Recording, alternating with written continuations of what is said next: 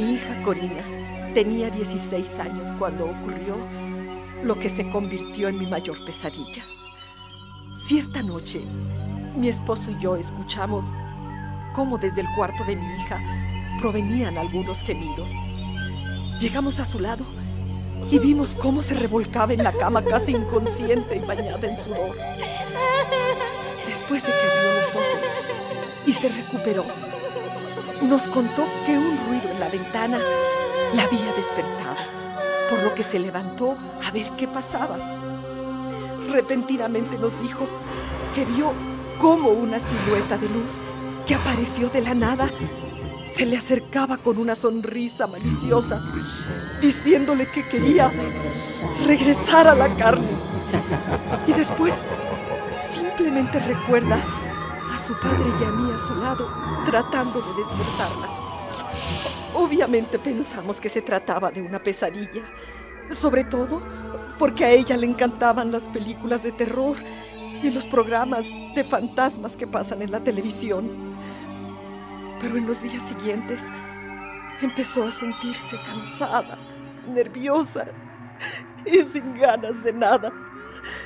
Su actitud era la de un animal asustado que solo quiere esconderse, por lo que la llevamos al dispensario médico de nuestra parroquia, donde el doctor nos dijo que todo se debía a cambios hormonales naturales de la adolescencia.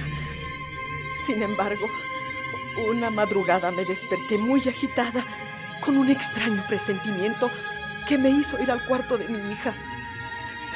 La espantosa escena que vi al llegar y que hasta el día de hoy me mantiene enferma de diabetes, me reveló cosas que nunca sospeché pudieran ser verdad. Mi hija estaba embrujada o poseída. Sobre su cuerpo inerte, como si estuviera desmayada, se encontraba un horrible ser con un cuerpo muy fuerte, lleno de verrugas y líquidos que le escurrían y una horrorosa cara. Envolvía totalmente a mi hija con unos como pedazos de carne que le saltaban de todos lados. Al sentir mi presencia, aquel ser que estoy segura era el demonio, volteó a verme con una expresión burlona y después desapareció como en un suspiro. Aunque todo pasó muy rápido, a partir de ahí todo no salía mal. Había accidentes, peleas y enfermedades.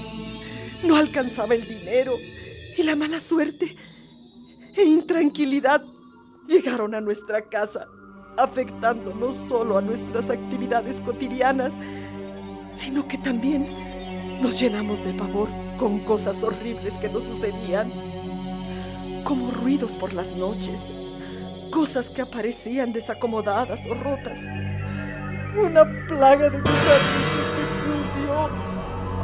o la pestilencia que a ratos invadía nuestro hogar y que después vimos provenía del cuarto de nuestra hija. Como a las dos de la mañana de un 23 de abril, unos rasguños en la puerta nos despertaron. Mi esposo tomó su machete y fue a ver qué ocurría.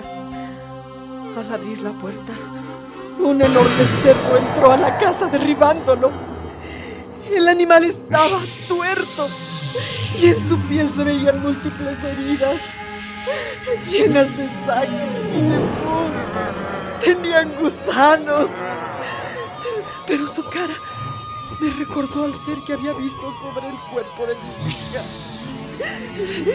Mi esposo le tiraba tasajadas con el machete, pero el animal las esquivaba y con horrorosos chillidos lanzaba tarascadas al aire.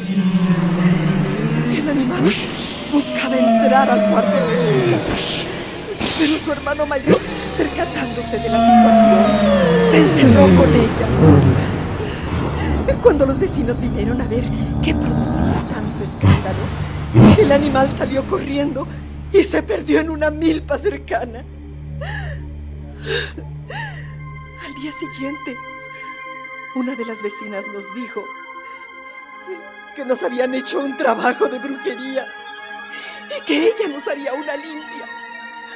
Por lo que en la tarde llegó trayendo huevos, ramas de pirul, ruda y otras cosas más. Pero eso fue lo que desató la verdadera pesadilla.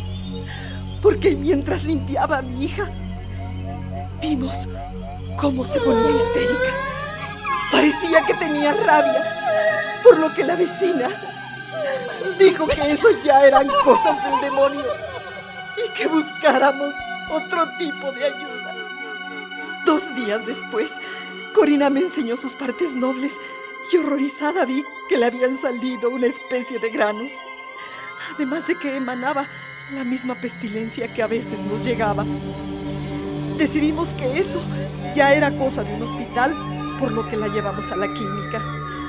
Ahí nos dijeron que se trataba de una enfermedad de transmisión sexual.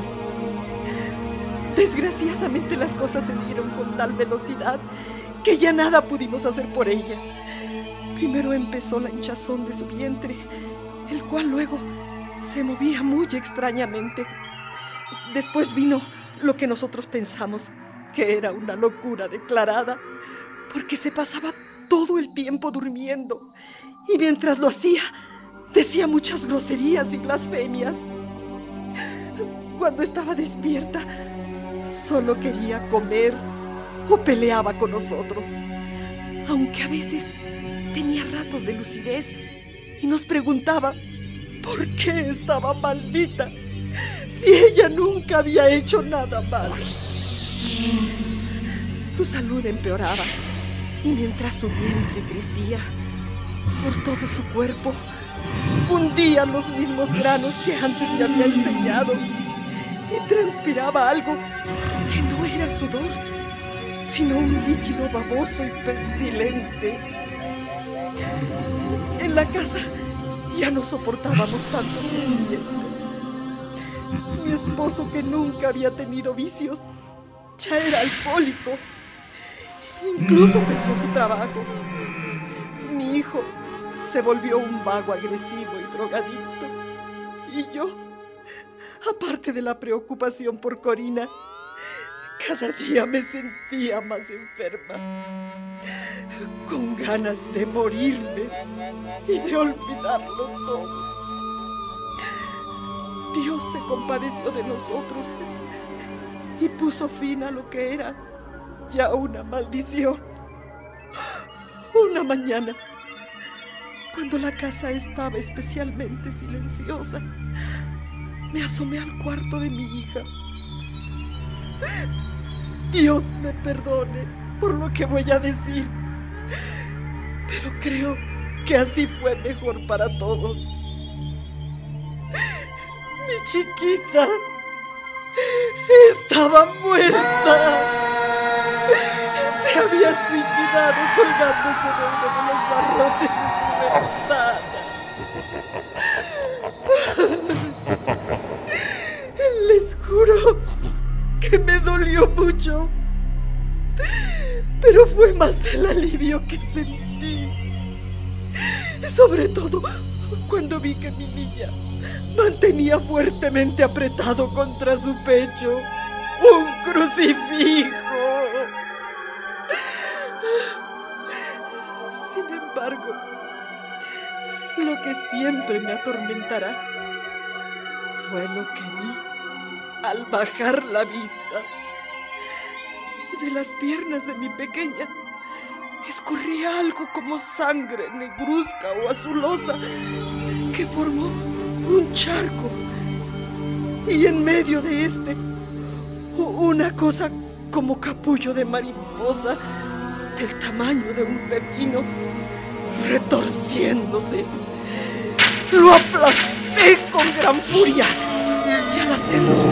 lanzó una especie de gemido o de silbido.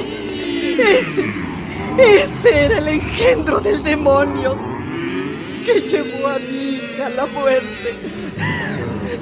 Pero me deshice de él, quemándolo, porque sé que, que el fuego purifica todo. Todo.